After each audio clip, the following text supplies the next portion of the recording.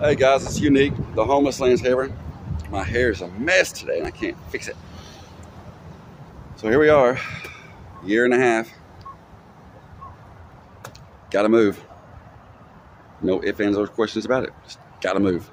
It's okay though. I'm not mad at nobody. Everything has a purpose. Everything happens for a reason. God has better things in store for those with higher faith. And that's all I'm to say about that. So I told y'all to keep in touch and stay following and subscribe and let's see what we can do and see where this is going to go. I know I filled out all the paperwork for the house, funding, all that stuff. So that's all in the process. But I'm not going to go live at one of those stupid camps where there's a whole bunch of problems in Jama and I can't, you know, protect what I have. You know, I mean, not much, but it's enough. You know, always have what I need, not everything that I want, but so, uh, you know, here we go. And we're fixing to fix and take that down so we can get back, go scope out this little area and where I camped at before and set it up for a little while and stay there until everything else gets.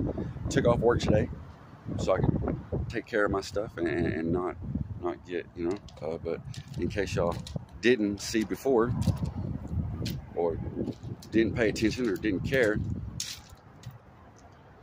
that says no trespassing. Camping is prohibited in this area. Florida Statute 337.406. We really tried to get that taken care of when we went to City Council, but they weren't trying to hear it. I know everybody's equal all the time, but just not all of us are the same. And it only takes one bad apple to cut down a whole tree. So it is what it is. Let's uh let's see what happens. Have a nice day, man. Peace. Love.